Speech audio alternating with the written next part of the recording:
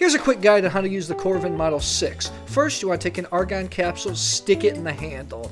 Next, screw that handle into the system. Screw tightly until you hear a snap.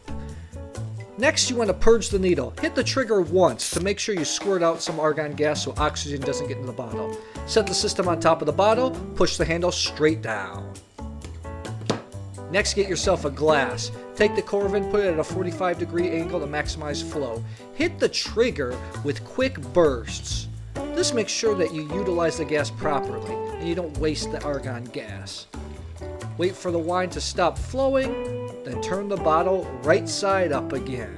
Grab the handle, lift straight up. Now it's time to enjoy. If you want to know more about the Coravin Model 6, I'll put the link to the full video below. Cheers!